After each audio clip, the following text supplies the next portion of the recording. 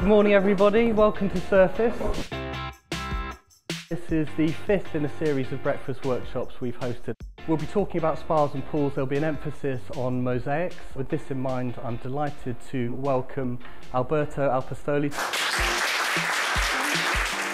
I'm here today to, uh, to talk about spa design is, uh, is my specialization and to talk about also surfaces because they're very important in, the, in this sector. It was a very broad presentation which covered every aspect from the spiritual to the medical, the cleansing qualities of, of wellness centres, right down to the smallest details, so how you join two pieces of mosaic together or how you deal with an edge detail around a swimming pool. I try to communicate that spa is not only design, it concerns also we are philosophy philosophy behind the wellness.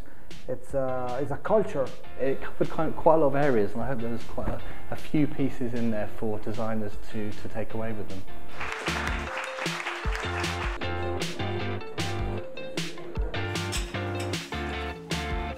The idea of a breakfast workshop is that it's um, informative, engaging, but also educational. What I've learnt really is the detail that goes into these spas. I, I thought that was pretty amazing. It was a great opportunity for me to actually go and see the new products and also get more of a technical insight into how to design things. You can always come here for great ideas and inspiration um, and normally a very nice cup of coffee as well. the industry is changing all the time, new things are coming in and out of the market, and we like uh, as much as possible to keep on top of those things and to share that information with designers when they, they come to see us.